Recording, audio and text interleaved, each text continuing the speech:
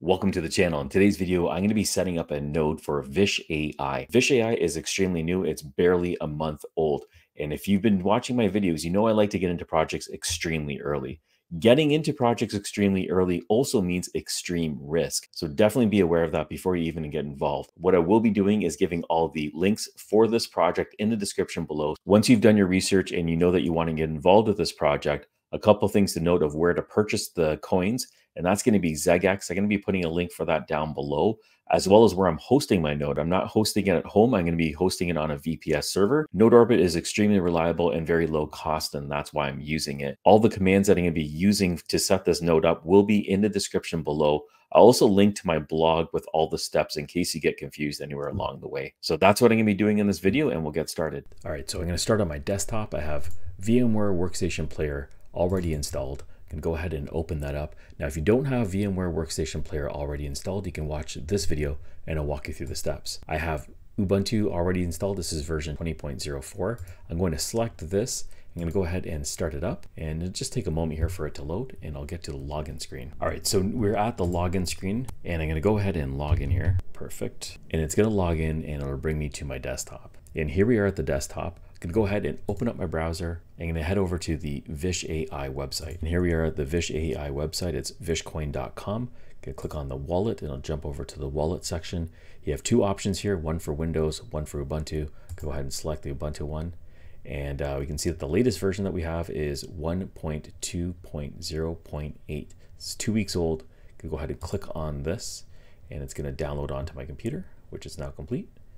Gonna go open up the file. I'm gonna minimize this or close out of that.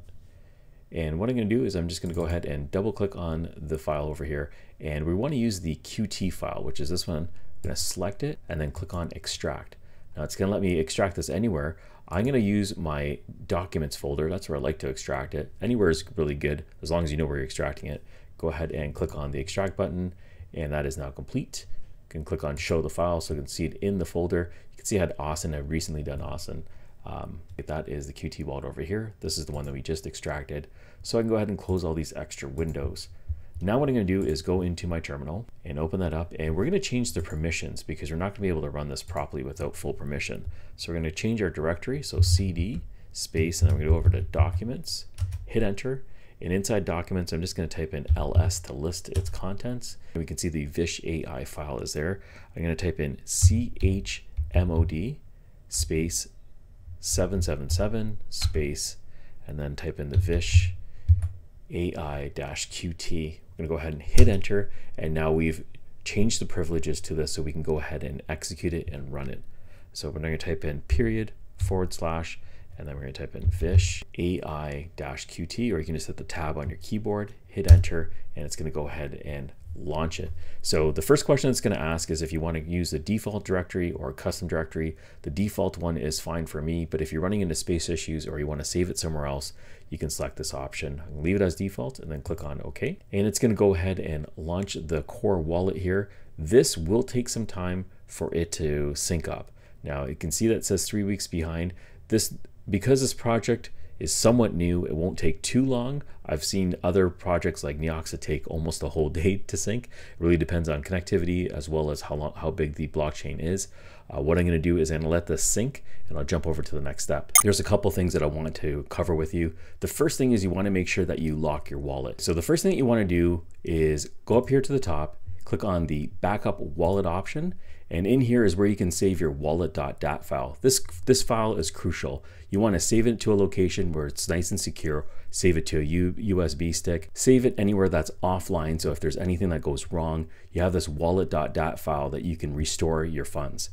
So that's definitely important. You want to make sure you back up your wallet.dat file. And the second most important thing is to encrypt your core wallet. So you go up here to the settings menu, click on encrypt wallet, and this is where you can type in your new password or passphrase. Uh, this password has to be at least 10 or more random characters or eight or more words.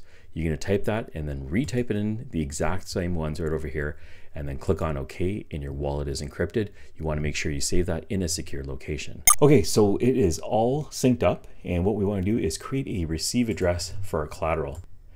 So what we want to do right now is just create an address that we can send our funds to.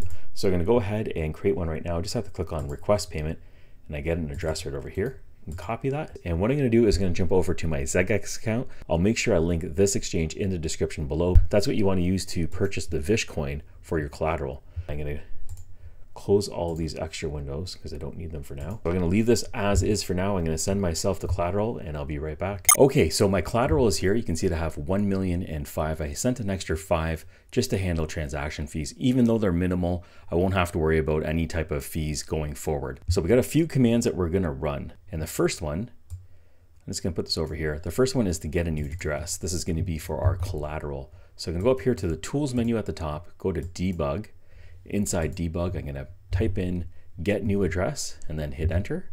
And it's going to spit out an address for me. I want to make sure I copy this. And I'm just going to put it over here because I might have to refer to that later.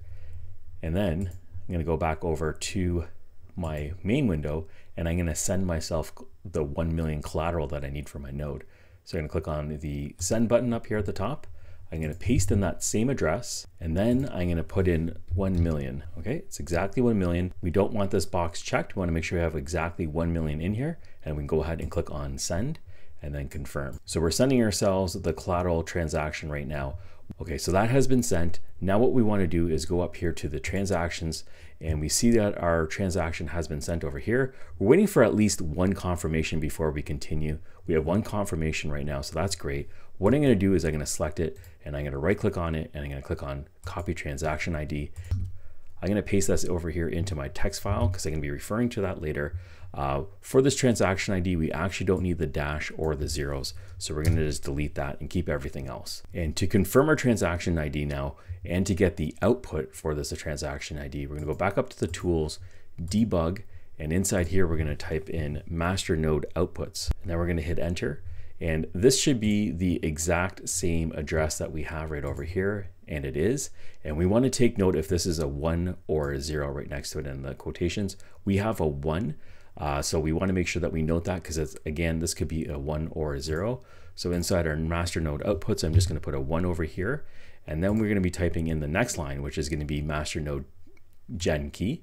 So I'm going to go ahead and copy this, or you can just type it in. Type in master node gen key, and then we're going to hit enter. And this is going to be very important. This is what we're going to be need. This is the key that we're going to be entering in node orbit. So I'm going to be copying this and I'm going to be setting it aside. There we go.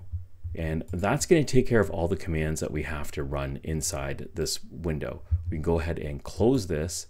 And now what we want to do is edit the configuration file. So I'm going to go over here and I'm going to go into my files folder and I have everything inside and we're over here in our home folder, you can see that there's nothing in here. Uh, by default, the system files are hidden. So we want to go up to this menu option up here at the top, and we want to say show hidden files, and then voila, some things start popping up. And this is the folder that we're looking for. This is the Vish AI Core Wallet folder. So I'm to go ahead and double, double click on that. And inside here, we're looking for the master node config file. So we'll double click on that as well. And uh, let me just expand this over here so you can see it properly. Actually, I'll open it up all the way so you can see it in full screen mode because you want to paste in our information the same way. So I'm to hit enter and then I can type in node one. That's going to be the name that I'm giving it. And I'm going to put in a space. And now what I'm going to be doing is I'm going to be gathering all the information. So the IP address, the IP address is going to be the IP address that's assigned to you by Node Orbit. It could be anything like 192.168.1.1. This is just a dummy address. The port that we're going to be using is 8083. So you enter in the IP address that's given to you by Node Orbit and then colon 8083. So go ahead and highlight this. I'm to copy that and then I'll paste it in. Again, use the real IP address, not the one I'm putting in here. And then we're to put in space and then the next part is to get the master node keygen. So we're to highlight all of this information, I'm to copy it, I'm to go in here and I'm to paste it in and then space, and then we're to need the transaction ID. Transaction ID is right over here. Copy that. And then over here, I'm going to paste it in and then space. And then we're going to look for the master node outputs. So the master node outputs I have as one. It might be a zero for you. You want to make sure you know which number that is and then you go ahead and type in the one there and then we just have to save it. Once you have it saved, you can close out of here and uh, we don't need this folder anymore. We can close out of here. And in the master nodes, we're not going to have anything yet. What we're going to do is we're going to reload our wallet, but we're going to jump over to the Node Orbit website and enter in our private key. So now that we have all our steps completed and we have our gen key, I'm going to jump over here to Node Orbit and I'm going to go ahead and log in. And you can see I have a bunch of nodes set up. Down over here, we have Vish AI.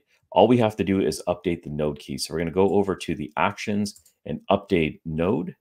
And this is the last step. We're going to be putting in our gen key right over here and then clicking on the update button. Okay, so our gen key is now entered. The last thing I want to do is reload this wallet. So I'm going to shut it down. I'm going to go ahead and start up our wallet, hit enter, and it's going to load up here. And we just got to let it sync up. So the wallet is all synced up. Now we can go over to the master nodes tab right over here. And you can see that it says status is missing. Just going to select it and then click on start missing and then say yes. And then we have successfully started one master node. We'll click on OK and it's going to be in this pre-enabled status. Now, uh, it will say enabled when it's completely up and running. You want to keep an eye on this until it actually is enabled. Uh, it's a little bit flaky. I noticed that it does not stay online very often. Even when it says enabled, make sure you check in every few hours, make sure it stays in that status. After a day or so, if it's enabled, it's pretty much good to go. You're not gonna have any issues. And that's all you need to do. And that's all there is to it. We set up our Vish AI node. I hope you found this video useful. If you did, please smash that like button. Thank you for watching. Catch you in the next one.